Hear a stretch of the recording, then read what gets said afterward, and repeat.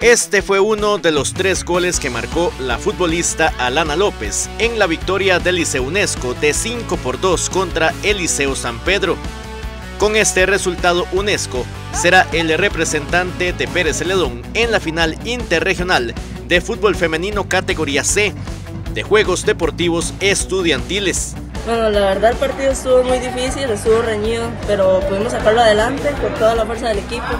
Y llegar a la etapa internacional, la verdad, es un peso encima de tener que llevar todos los equipos de todos los colegios eh, de la región, digamos, de Pérez Celedón, y tener que representarlos en las interregionales. UNESCO enfrentará a los representantes de la Dirección Regional Grande de Térraba y también de Coto. Seguir entrenando, seguir esforzándonos, dando todo nosotras, eh, llegar a las interregionales, poder darlo todo, si es posible ganarlas, llegar a las finales nacionales y de ahí si podemos poder ganarlas. La final interregional será en una sede por definir por la dirección de Coto.